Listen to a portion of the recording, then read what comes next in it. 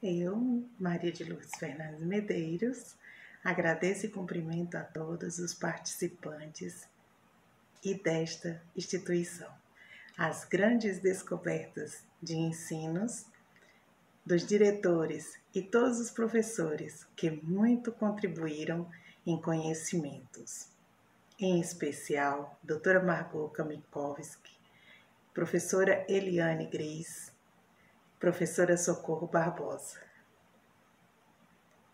Apresento o trabalho de conclusão do curso apresentado no programa de extensão Universidade de Brasília, Unicer, UNB, Polo de Taguatinga, com o tema Análise da Amizade e o Envelhecimento,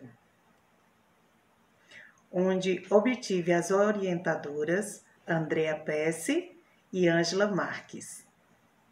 Diante de tantas descobertas e aprendizados, e baseado numa realidade de amizades vivida, aos exemplos desta a criação. No livro da Bíblia Sagrada, podemos ver que Deus fez o homem e viu que não era bom que ficasse sozinho, criado assim um ciclo de amizade. Fez a mulher.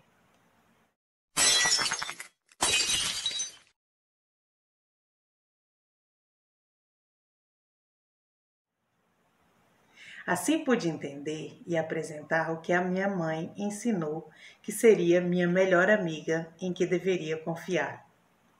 Ser confidente em seus ensinamentos de escolhas certas e não procurar ter inimigos e que não precisava andar juntos e sim ser amigo. Fiz muitos círculos de amizades e continuo fazendo o estudo da psicogerontologia compreendia o sentido do início, quando gerado, ao fim da vida, o envelhecimento do ser humano e a qualidade de vida nas escolhas certas, a verdadeira importância.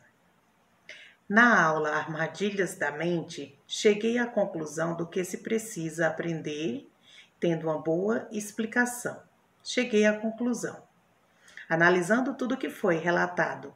E no meio de uma pandemia, fica a sugestão de um olhar mais atento para os aspectos do envelhecimento, para que possa ser implantado nas escolas a aula de psicogerontologia aos alunos na idade de 8 anos, para que tenham como uma formação de qualidade de vida na índole da criança a serem despertados e começarem a fazerem análises nas escolhas certas em sua vida e neste ciclo reconhecer o profissional como um amigo e não como uma figura de médico que atua e atende somente problemas de saúde e temem por isso.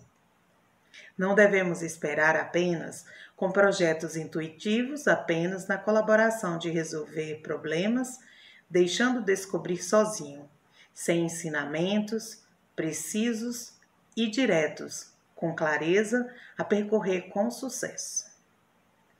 Vemos e compreendemos o que é ensinado através do outro, que completa e se estende ao conhecimento a cada dia com aprendizagens e ensinamentos com linguagem natural, que são importantes em fontes de informação, proporcionando oportunidades e desafios de transformar em conhecimentos, em análise e amizade, promovendo amor e felicidade nas decisões organizadas e descobertas.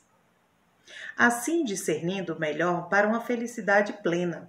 Afinal, a, a amizade é um relacionamento que o ser humano tem de afeto e carinho pelo outro, e que possui um sentimento de lealdade e reciprocidade de ajuda mútua, em compreensão e confiança em todos os lugares ou origens que surgem.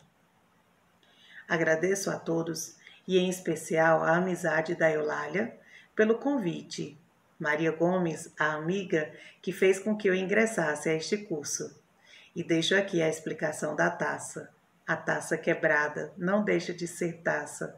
Assim é a amizade, jamais será esquecida. O amor não acaba. Eu gostava daquela taça. podemos distanciarmos jamais termina.